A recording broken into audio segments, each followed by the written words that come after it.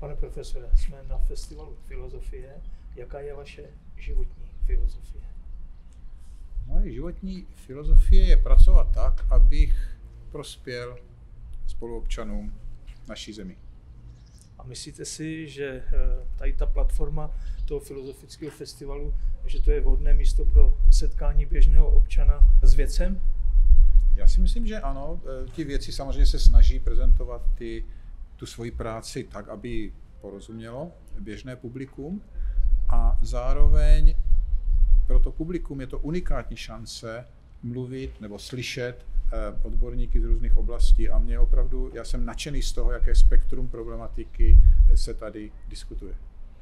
A e, v té vaší odbornosti řekněte tři takové nejvýznamnější úspěchy, kterých jste dosáhl? No, tak eh, já jsem, eh, to, čeho si vážím, je, jsou spíš, je spíš vývoj nových metod, které umožnily čtení složitých genomů obilovin.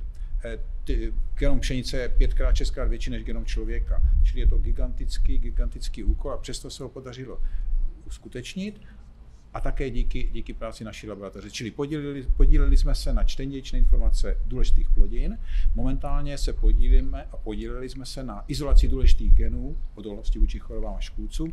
A já osobně si možná nejvíce cením, je to takový trošku hobby projekt, to, co děláme na banánovníku, protože je to jednak odborně zajímavá práce a jednak je to jakási pomoc rozvojovým zemím, pomoc eh, těm, kteří žijí v těch, těch oblastech, kde, kde věda na také úrovni není a zároveň je to pro ně základní potravina.